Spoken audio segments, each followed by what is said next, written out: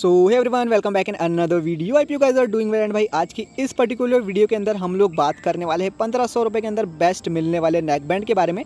And इस वाले neck band की बात करूँ भाई तो मैं इसे एक साल से यूज़ कर रहा हूँ पिछले एंड बहुत ही सही नेक बैंड है। एंड बहुत ही सही परफॉर्म करता है गेमिंग भी आप लोगों को करवा के दे देता है एंड बहुत ही ज़्यादा ड्यूरेबल भी है। बिकॉज़ मैंने इसे कई बार भाई पानी में भी गिरा दिया है बट भाई ढीट चीज़ अभी भी काम कर रही है एंड बहुत ही सही साउंड भी आप लोगों को देखने को मिल जाता है। गाने वगैरह भी भाई बहुत ही बढ़िया आप लोगों को जो है सुनने को मिलेंगे। अगर आप लोग इस वाले ईयरफोन को परचेस कर लेते हो तो।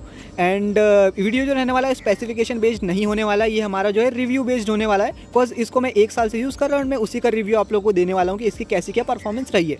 सो so, चलो और ज़्यादा टाइम वेस्ट नहीं करते हैं फटाफट से वीडियो को स्टार्ट कर लेते हैं।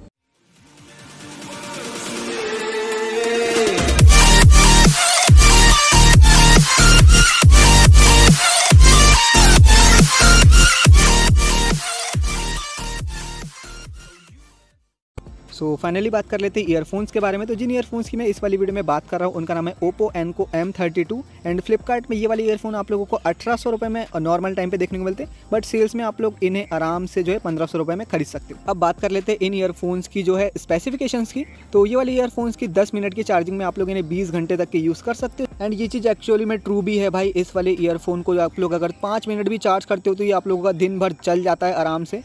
एंड फुल चार्ज भी बहुत ही ज़्यादा जल्दी हो जाता है। सेकंड फीचर की बात करें भाई तो इस वाले ईयरफोन में आप लोगों को 10 एम mm के ड्राइवर्स देखने को मिल जाते हैं। ब्लूटूथ 5.0 का सपोर्ट देखने को मिल जाता है and I P fifty five की रेटिंग भी आप लोगों को इस वाले ईयरफोन्स की देखने को मिल जाती है। एंड भाई ईयरफोन्स की अगर मैं बात करूँ तो ईयरफोन्स रियली बहुत ही ज़्यादा ड्यूरेबल है।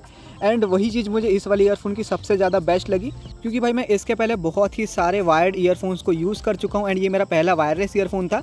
एंड भाई वायर्ड ईयरफोन में आप लोगों ने एक प्रॉब्लम ज़रूर से नोटिस करी होगी कि उसका एक साइड काम करना बहुत ही ज़्यादा जल्दी बंद कर देता है।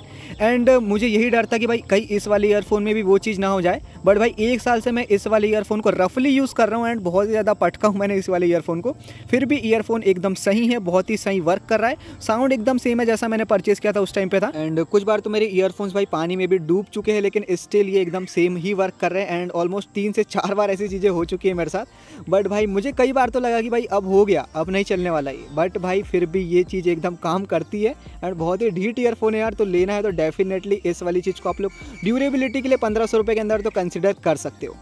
एंड अब बात करें भाई, अगर गेमिंग वगैरह की तो लेटेंसी रेट भी आप लोगों को इसमें बहुत ही कम देखने को मिलता है।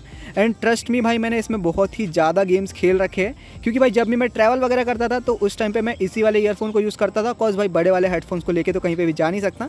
एंड ऑलमोस्ट ना के बराबर ही लेटेंसी रेट आप लोगों को इस वाले ईयरफोन में देखने को मिलता है। कॉज भाई, मेरे एक्सपीरियंस के हिसाब से मैं आप लोगों को बता रहा हूँ कि मैं जब भी अपने जो है नॉर्मल ईयरफोन्स को यूज़ करता हूँ और जब इन्हें यूज़ करता हूँ तो मुझे उतना ज़्यादा कुछ खास डिफरेंस देखने को नहीं मिलता।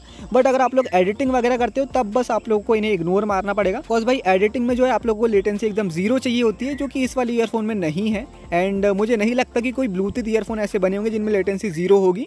सो so, उसके लिए आप लोग को वायर्ड वाले ईयरफोन्स ही यूज़ करने पड़ेंगे जब भी आप लोग एडिटिंग वगैरह करो तब। बट भाई गेमिंग तो अच्छी खासी आप लोगों को ये करवा के दे देगा। एंड अगर बेस और वोकल्स की बात करें तो भाई दोनों ही आप लोग को इसमें बहुत ही सही देखने को मिल जाएँगे। एंड कोई प्रोफेशनल तो हूँ नहीं मैं तो एक नॉर्मल ह्यूमन के परस्पेक्टिव से बता दूँ आप लोगों को कि भाई साउंड इसका बहुत ही आप लोगों को अच्छा देखने को मिलेगा। एंड टेस्ट वगैरह करने के लिए कोई इक्विपमेंट तो है नहीं मेरे पास बट भाई ट्रस्ट कर सकते हो मेरी बातों पर आपकी भाई ईयरफोन्स जो है अच्छे हैं। एंड अगर आप लोग फ्लिपकार्ट या अमेजोन पर भी जाओ तो इसकी परचेसिंग से आप लोग समझ सकते हो कि भाई इसको इसको कितने लोगों ने परचेस किया है एंड इसकी रेटिंग कैसी क्या आप लोगों को देखने को मिल रही है। उस चीज़ से आप लोग को एकदम क्लियर हो ही जाएगा कि भाई पंद्रह के अंदर आप लोग को इससे अच्छे नियर क्या बात क्या बात करता है यार?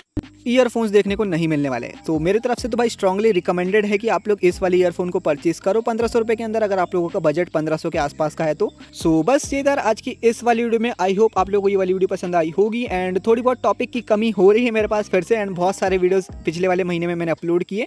एंड अगर आप लोगों के पास कोई टॉपिक है जिसपे मैं वीडियो बना सकता हूँ तो प्लीज़ मुझे कमेंट करके बताना। सो ये इधर आज की इस वाली वीडियो में। आई होप आप लोगों को वीडियो पसंद आई होगी। एंड अगर थोड़ी सी भी अच्छी लगी वीडियो तो भाई कमेंट करके ज़रूर से मुझे बता देना कि आप लोग को वीडियो कैसी लगी। एंड लाइक ज़रूर से कर देना। सो मैं मिलता हूँ आपसे अगली वीडियो में, तब तक के लिए गुड बाय